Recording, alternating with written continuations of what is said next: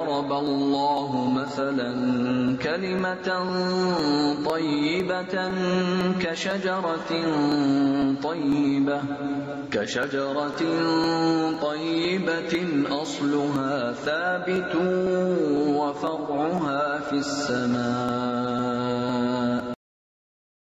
أعوذ بالله من الشيطان الرجيم. والحمد لله رب العالمين. وصلى الله وسلم على سيدنا محمد وعلى آله وصحابته أجمعين. أيها الإخوة الكرام الله فعال لما يريد. من صفات الله تعالى أنه الفعال لما يريد. فلا يكون شيء إلا بإرادته ولا يخرج شيء عن مشيئته وليس في الكون شيء يخرج عن تقديره ولا يصدر إلا عن تدبيره ولا محيد عن القدر المقدور. خلق الخلائق وأفعالهم وقدر أرزاقهم وآجالهم. يهدي من يشاء برحمته ويضل من يشاء بحكمته. إنه الفعال لما يريد. قال القرطبي أي لا يمتنع عليه شيء يريده. وهذا من حق الله عز وجل. فلما كان الله جل جلاله هو خالق هذا الكون ورازقه والقائم على أموره والمتصرف فيه حسب ما شاء وجب وصفه بأنه الفعال لما يريد.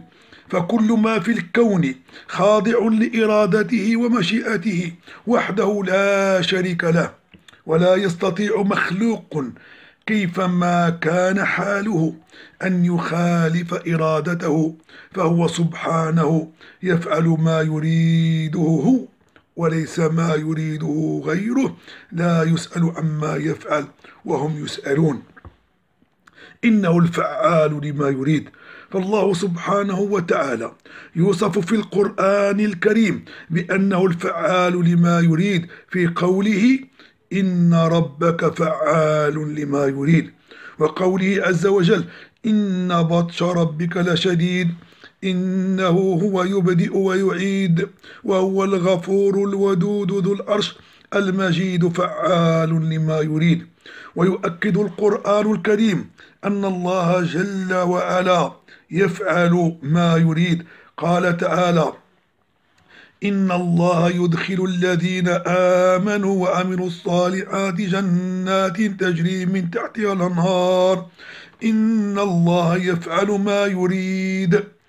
الله سبحانه وتعالى يفعل ما يشاء فعله فيمضي في الخلق وفي من شاء منهم فعله وقضاؤه فكل أمر يريده سبحانه يفعله بلا ممانع ولا معارض وليس له ظهير. ولا معين على أي أمر يكون. بل إذا أراد شيئا قال له كن فيكون. لا يصعب عليه جل وعلا شيء لأن أمره بين الكاف والنون. فمتى أراد فمتى أراد الله تعالى شيئا وجد بلا تعب ولا جهد ولا كلفة ولا عناء ولا عناء قال عز وجل إنما أمرنا إنما أمره إذا أراد شيئا أن يقول له, أن يقول له كن فيكون. ومع أنه الفعال لما يريد فإرادته تابعة لحكمه فهو موصوف بكل كمال وموصوف بكمال القدرة ونفوذ المشيئة وموصوف بشمول الحكمة لكل ما فعله ويفعله.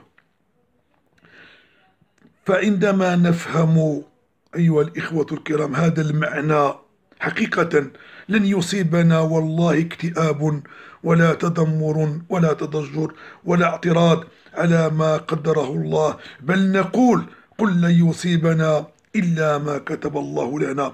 ونقول قدر الله وما شاء فعل.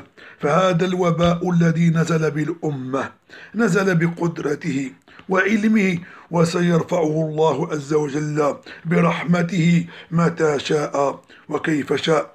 إنه الفعال لما يريد. أيها الإخوة الكرام هذا عبد رزقه الله ذرية وهذا عقيم. فلا يتعجب أحدنا من ذلك. فالله فعال لما يريد. وهذا غني وهذا فقير فلا نستغرب إنه الله الفعال لما يريد. واسمع لقول النبي صلى الله عليه وسلم لابن عباس واعلم أن الأمة لو اجتمعت على أن ينفعوك بشيء لم ينفعوك إلا بشيء قد كتبه الله لك. لماذا؟ لأنه الله الفعال لما يريد. وقوله واعلم أن الأمة لو اجتمعت على أن يضروك بشيء لن يضروك إلا بشيء قد كتبه الله عليك. لماذا؟ لأنه الله الفعال لما يريد. أليس هو القائل في قرآنه؟ هو الذي يحيي ويميت.